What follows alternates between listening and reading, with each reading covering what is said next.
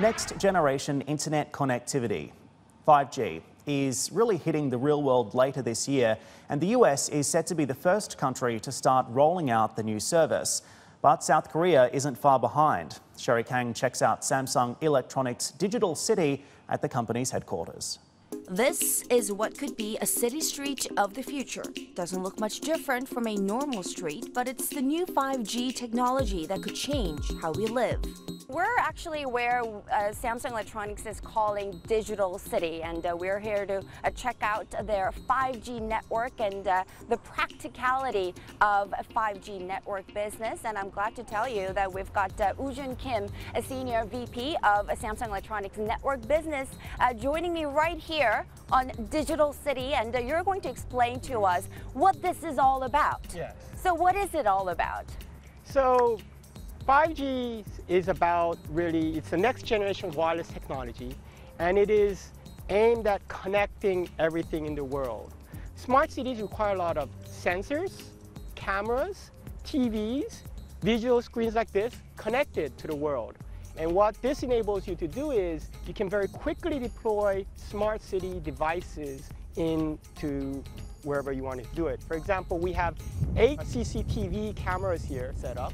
We also have tons of IoT sensors, and we've got over 20 sensors and units here in 50 meters by 50 meters square area. So it's about connecting those CCTV surveillance cameras Mhm. and what do they do? Like how does that information get sent to where and who? So that sort of information can be connected automatically and it's sent over 5G and the internet to wherever you need to send it to. It can be sent to governments, it can be sent to companies.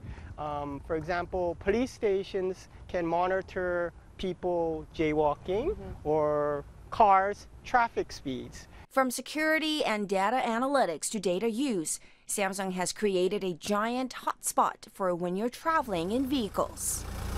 We're in your 5G bus and we're about to enter 5G kiosk area. Yes. What does that mean? So what it is is we're trying to solve the classic um, "Are we there yet now?" problem. Actually, we think this is one of the key use cases that 5G can solve. And what we're showing here, we're entering a zone called the 5G kiosk, and it's a small area that a 5G network covers, but it gives you enormous download speeds, so that you can instantaneously download any video or any upload anything you want actually very quickly in a moving vehicle. So think of it as a huge moving hotspot, hot, hotspot zone. And then you've seen So we've entered the zone. we've zone, and if you can see, um, we've simulated three cars here. Actually, we've got three connected cars, and they're all getting up to gigabit speeds, and they're instantaneously downloading video. And as you can see, if you're not quick, the video is already downloaded. It's And finished. It's finished. Just so like that? Just like that. Okay. That's what happened. With that blink and you miss it connection speed, download lag and buffering time will become a thing of the past. Chery Kang, CNBC, Seoul. Still watching? Perfect. Click here to watch another great video from CNBC International. Oh, and don't forget to subscribe. Thanks for watching.